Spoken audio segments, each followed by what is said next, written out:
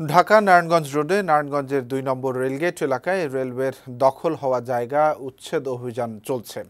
সকালে শুরু হওয়া উচ্ছেদ অভিযানে রেলওয়ের জমিতে অবৈধভাবে গড়ে ওঠা হাজার খানেক দোকানপাট গুড়িয়ে দিয়েছে রেলওয়ে কর্তৃপক্ষ।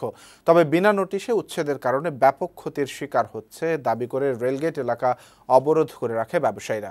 পরে পুলিশ তাদের সরিয়ে সড়কে যানবাহন চলাচল স্বাভাবিক করে। রেলওয়ের divisional state officer Mohammad Nazrul ইসলামের নেতৃত্বে এই অভিযান চালানো হচ্ছে। তিনি জানান, অবৈধ দখলদারদের উচ্ছেদের পর যাতে আবারও দখল করতে না পারে, সেদিকেও নজর রাখা হবে।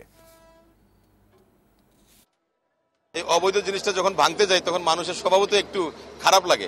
তবুও ওনাদেরকে বুঝাই বলছি ওনারা রাজি হয়েছে। মোটামুটি যে যে পরিমাণ জমি, তিন ভাগের এক ভাগ ওনাদের সম্বন্ধিত আমরা ভেঙে দিচ্ছি।